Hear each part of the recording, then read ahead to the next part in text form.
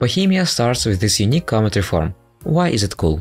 Not only because it has very good bonuses as you can see, but mostly because it's the best garment in the game for making a lot of PUs. Oh, there is also similar government reform for plebs, for not Bohemia, but Bohemia Elective Monarchy is a lot better. For example, because it doesn't use absolutism and doesn't give a lot of influence to estates. Anyway, I'll show you why it's the best for PUs later. Right now you need to grant some privileges. Mana privileges, enforced unity of faith, religious diplomats, clerical education. As for nobility grant, nobility officer rights, nobility integration policy and strong duchies. And grand patronage of the arts. Land. and now let's choose some rivals. Always rival Poland, Hungary, and if Austria is your rival, you can rival Austria. If it's relatively friendly, rival someone else, not Austria. If Austria starts friendly, royal married and try to ally it. Would be perfect if you could already ally it, let's see. I can't, but soon I will be able to. Let's see our advisors to magic reputation. If you have one and want to ally someone, grab it. And let's insult someone, like Poland for example. Yes, of course Poland loves us, but you shouldn't care about it to be honest. It's not really good ally. Anyway, let's insult and I can ally Austria. If Austria doesn't rival you, it's usually quite easy to ally it. Unfortunately I was interrupted by this event. So in this event I prefer to take second option for missionary strength. Bohemia starts with half of its provinces of different religion, Hussite.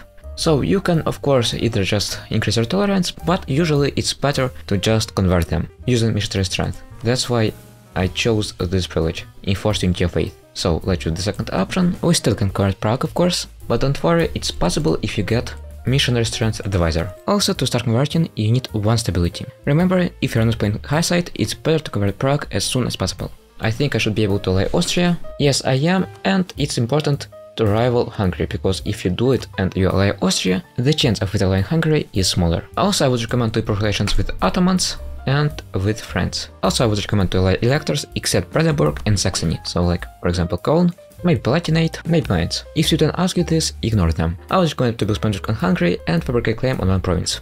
And here it is, uh, this is why Bohemia is the ultimate PU master. Second option will always introduce foreign kin. What does it mean? It means if you royal married other nation, for example like Hungary, I don't know, or Poland, and you choose the second option, you would be able to claim throne and make PU. Well, here in this case, our king is already Habsburg, so we have no need of the second option, but if it would have been like Hungary or Poland, I would be able to claim their PU. So after you ally some electors and you finally get king, you can finish this mission. Obviously finish it and you can improve relations with your allies to increase your chances of being elected. And obviously cast vote for yourself. As you can see, you already can be elected, very easy.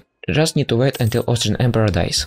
Okay, let's fabricate claim on Hungary, just one province. Why should we fabricate claim? Well, it's because to get claims on Slovakia, as you can see, you need to complete this mission. And to complete this mission, you need to wait at least until 1454, which is not the best decision. Now we can just wait until our truce ends and to claim on Hungary. Well, like I said, if you let Austria and rival Hungary, they shouldn't ally each other, but there's always a chance of course. If it does happen, you can always break alliance with Austria and ally either Ottomans or France to help you. So, one stability, missionary strength advisor, missionary strength decision in the event, and this privilege, and you can finally convert Prague. It's very important for imperial authority. And here it is, the Hussite event. So, you can either choose the first option and convert to Hussite, or you can choose the second option. In theory, you can also choose the third option, but well, it's not really good. So, what I will do now is I will save and show you the both options. So, first option, converting to Hussite. If you convert to Hussite, well, good luck you need to convert your nation. But on the bright side, Hussite abilities are not that bad actually. They're definitely better than Protestant. Yes, it does have good bonuses, but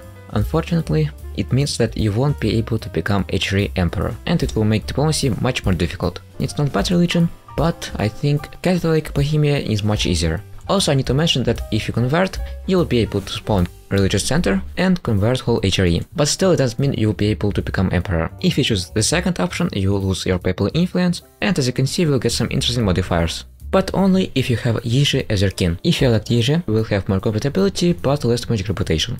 And we can forget about papacy. But we can choose someone else. Well, Jiří is not that bad ruler. If you have the magic reputation advisor, then his debuffs won't be even noticeable. Now you'll be able to finish this mission, not real big rewards, but anyway. By the way, by some miracle I can ally France. I guess it's because it doesn't rival Austria. If you can, do it, of course do it. If it does rival Austria, you can wait until you can break alliance with Austria. You will do it anyway. Also, when it has per diplomat, I would recommend to start improving relations with their vessels. You will need to annex them soon. And also by the way, if you want to acquire Prague faster, you can grant this edict, enforce religious unity. Also check out Hungary. If you need some kind of support, you can start current favors with your allies. They might support you. Well, that's quite interesting turn of events. It's quite rare that Austrian Emperor dies that early, so I will just say scum. Well, of course, if you died that early, you may consider yourself lucky. So, this is a unique event for Hungary and always take this advisor, it's very very good. Here we go, time for the first war. So, how to win? So, let's see, what do they have? A lot of troops actually, but if we call in our allies, this definitely should be enough. If Austria light Hungary, break your alliance, and ally Ottomans and maybe France. It should be enough to beat Hungary. Anyway, you can just try to ally someone. Also, to increase your chances, you can either hire free company or some company with good general, like this one. It's very good. I think I will hire those two companies. One for siege, one for combat. And of course I will take burgher loans. So now that I hired two mercenary companies and I can clean some allies, it should be quite easy to win. Don't forget that if you have taken Jiří, you have some military bonuses and you can also take Meal Advisor, like this one, for morale of armies. So I suggest first without Hungarian allies and then Hungary itself. Well, as you can see, I just destroyed Teutonic Order, cause I have good general and I have some military bonuses. Yeah, it should be quite easy if you're prepared. Also I have fourth military technology and Hungary has third one. That means that I have a very big advantage. Don't forget about military technology. Better military technology is extremely big advantage early game. Well, that's what I'm talking about. It's extremely big advantage. And also that's because I hired good general. Good general is also very good. So from Hungary you don't need much, you just need to take Slovakia. Of course you may also take some money if you can. I will, why not? Also don't forget you have gold mine. So encourage development and you can develop it. And by the way, you also develop this province for this mission. It is quite cool and I recommend to do it. Okay, 11th November, time to annex your vessels.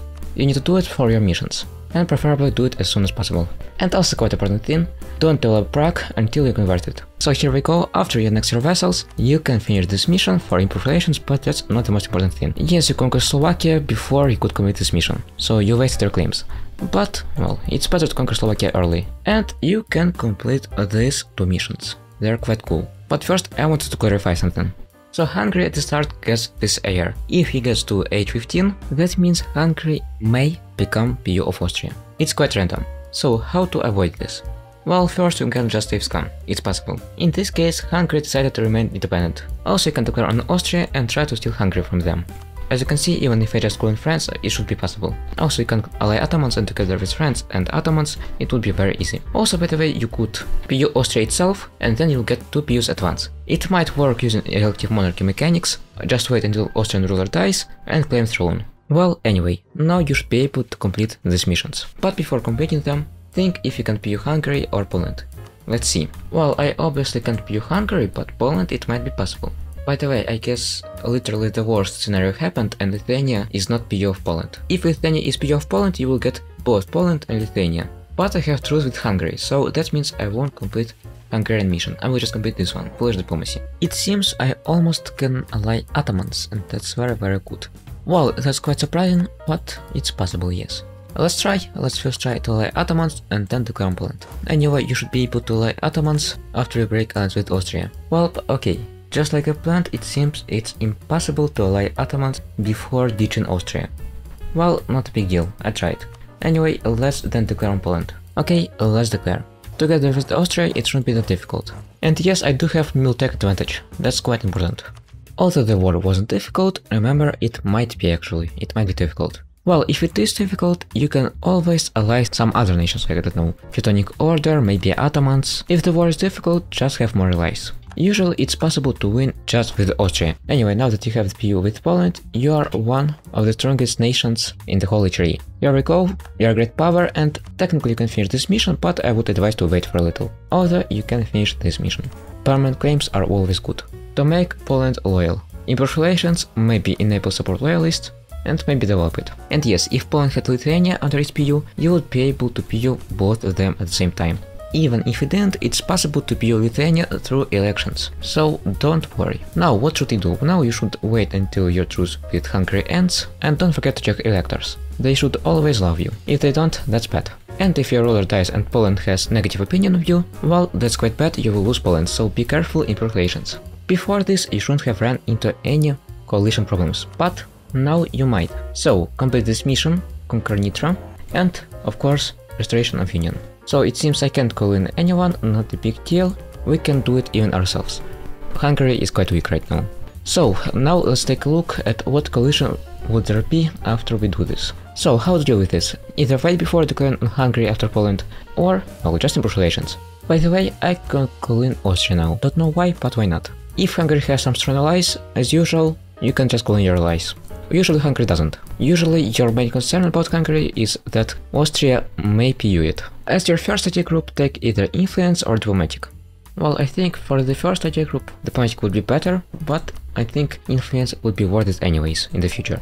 And here we finally go. Yes, now we're the Emperor. It was very, very easy. I didn't even ally most of these electors, just one of them actually. But yeah, of course alliance will help you. What else would help you? Prestige, legitimacy, and good relations. And of course bank reputation. So now that we are the Emperor, it would be really difficult to kick us out. Of course Emperor does get a lot of benefit, just look at our force limit. Anyway, anyway, now that you're Emperor, you even have chance to get Burgundy. If you ally it, then this chance will be quite big. So let's start Hungary, I guess. Coalition would be non-existent, that's why improved relations is good, but if you don't want improved relations, you can just wait, it's not that urgent to conquer Hungary. I recommend to do it just because, well, Austria can do it too, better to be first. Yes, the same as with Poland and Lithuania, you get two personal unions at the same time. Croatia and Hungary. So I recommend to grant strong duchies once again, and now as you can see everything is fine with the diplomatic relations. So now you should be able to complete this mission, which is very cool, it will give you claims on Austria proper, on this state basically. By the way, I almost forgot, after Austrian ruler dies, you can do this. Claim throne. And now ladies and gentlemen, we can PU Austria. But of course there is one catch. If Austria gets an heir, you won't be able to PU it. So basically it relies on RNG a little. While we have the magic of save scumming, I hope it will help me. And Hungary inherited Croatia, which is very very cool. Last diplomatic relations. And don't forget to complete this mission, for diplomatic reputation. Also in theory, you could try to ally Burgundy. Well, in this case I can't, I think France is better ally, but but if you do, there is a very big chance that it will go to you in Burgundy succession. And by the way, even before you become emperor, you can ally it and royal merit. There is a chance that it will go to you. Well, first way to get imperial authority in the game is by converting Prague. Well, this was quite unlucky run in this regard. I've got negative event at the start, which prevented me from converting it, but yeah. If you convert it, you get plus 10 imperial authority, which is not bad. Yeah, double the imperial authority. Well, here we go. It took some save scumming, but I just wanted to demonstrate that it's possible. Well, by the way, not much of save scumming, just twice. By the way, I don't know why France is so useless here. Usually it isn't, usually it's quite helpful. Well, to be honest, I'm not even sure if I should take claim on throne or not. Well, I would be able to deal with coalition, but most new players won't. What I wanted to show that it's possible to PU anyone. Austria, France, Castile, anyone, literally anyone. By the way, claim on throne actually might be good later, not right now, but a little bit later. Why? Well, if you conquer 4 provinces and Vienna, you would be able to form Austria, get its mission tree and its ideas, which are, well, better than the Bohemian ones. So, maybe let's try. Yes, there will be a very very ugly coalition. Well, just like I said. Well then, I won't back out. Let's start improving. It's quite possible to improve relations with these nations because Emperor can do this action. It can help you very much. Bestow Imperial Grace. It will improve relations by 50 with this nation, but it will take 1 Imperial Authority. Again, it's not really necessary to PU Austria or PU it that early, I just wanted to prove my point, let's say. As third reform, choose this one. Believe me, it will really help you. Well, quite unfortunate. Yes, it is quite random. In my previous tries I could ally Ottomans. Well, in this one not, but in previous I could.